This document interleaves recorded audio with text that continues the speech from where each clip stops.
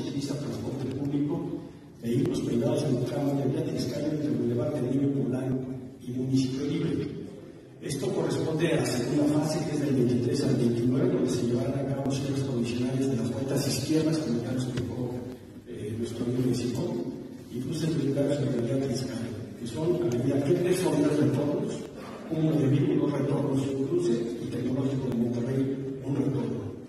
Eh, en este trabajo conjunto entre la Secretaría de Seguridad Pública, Infraestructura, Banco de Tierra y, y, y Secretaría de Movilidad, se los operativos con objeto de asegurar la fluidez de las unidades de transporte público que circulan en la, en la, zona.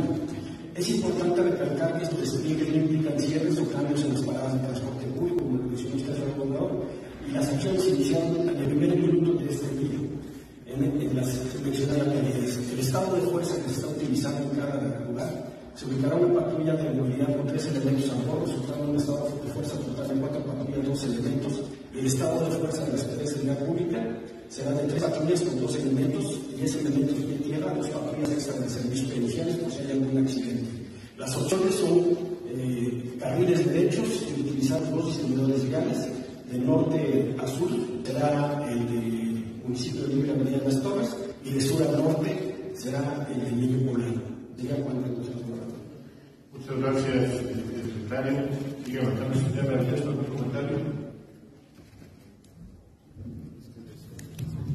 Gracias.